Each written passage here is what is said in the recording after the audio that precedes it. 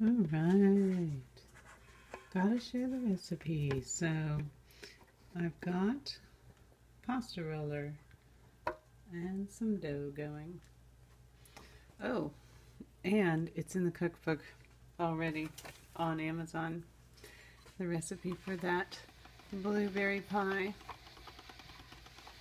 I'm running the new recipe for this vegan dough. And I'm doing recipe number two in the upcoming book. So sign up underneath if you want to get the notice when the book is published which is going to be in about two weeks. So you want to sign up. And these are going to turn into layers. See how it's getting longer and longer? This is going to turn into layers of field roast. This is homemade field roast. So this is recipe number two of your vegan pasta rolling machine, do it yourself at home type of cookbook coming out. Here's what happens when I put it through on number six.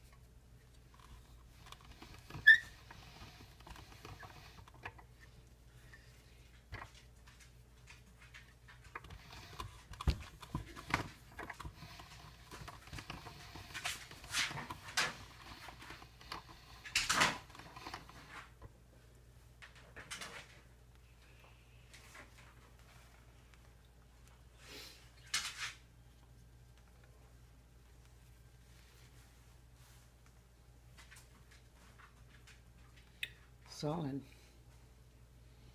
La, la, la, so you want to lay these out.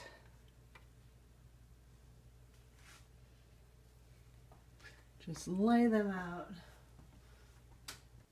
All right what I'm doing now is rubbing on the paste. And I've got that on and then I'm going to layer the slices. Now we're not going to be too careful about how it's layered because eventually this is just going to be the texture of the individual little pieces of field roast. This one is the thinnest one really and I don't recommend it. If you do it that thin, it will be very hard to lift and transfer. So go to a number five on your macaroni dial. See, kitchen utensils are fun, and those old things that you might have in your closet, you can still use those things to create new things that are equally as believed to be healthy, and hopefully are, as the foods that were made before. Now we're going to take and create that texture. That meat texture I was talking about.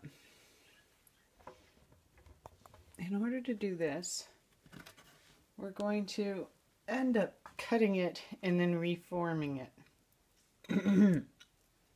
and this is also going to be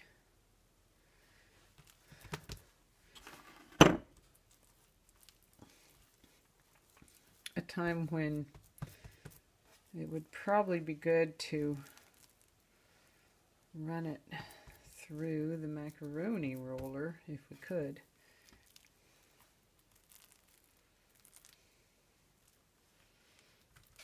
but not necessary. That would take and press it together probably too much. And I want that thinner layer along with these thicker layers, different texture and consistency. I want the little grainy bits of lemon herb and hoisin sauce spices to sink in. And um, I can feel it very soft to the touch here. And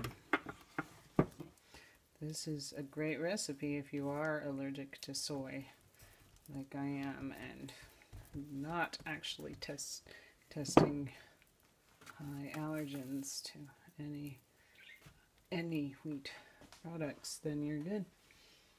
I am going to use a different kind of knife.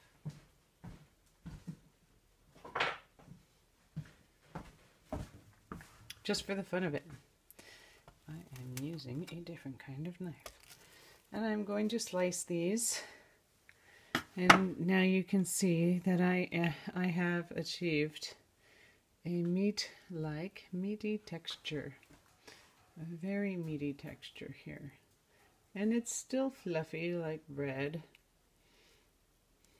But I've got that texture and I've got good juices all throughout, just through and through. Yum. Okay. This is not an exact science.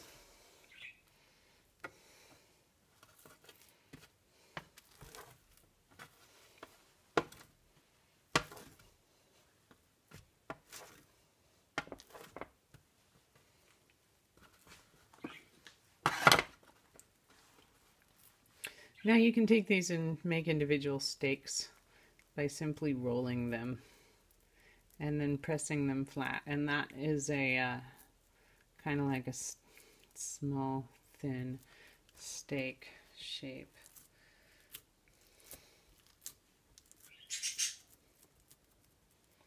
Wheat burgers there. And this dough is perfect to hold these shapes even though as fragile as it is, really. It's there. And I'm going to cook it on this cookie sheet, so I'm going to set it aside.